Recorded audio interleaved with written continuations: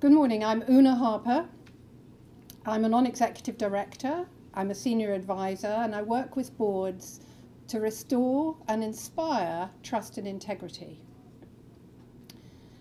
So, over the last year, I've held conversations with over 60 chief executives, chairmen, and board directors. And I've been asking, particularly the chairman, half of them were chairmen, two questions.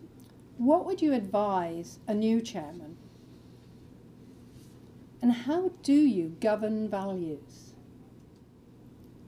And these are two publications that are coming out in the next months. One is a series of letters to a new chairman and the second is a guide for financial services on governing values. Now, what I find everyone agrees about is that the role of chairman is to set the tone from the top. But the challenge they have is how do I get a line of sight right through to the front line of the business?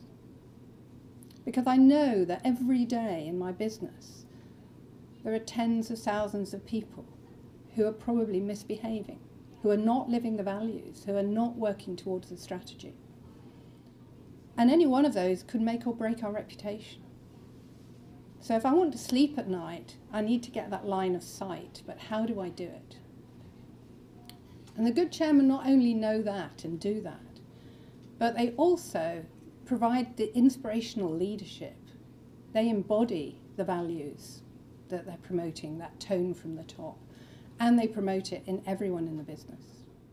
And I've reflected for 20 years since I first became a chief executive 25 years ago and have inhabited boardrooms in the public and private sectors. What is it about certain businesses that you can see they are pulling away from others? Some of them are just, you know, spinning wheels to keep up, and others are pulling away. And I think there's a quality of leadership that's different. And I call it love and integrity in business. And I hope to talk more about that with all of you this afternoon.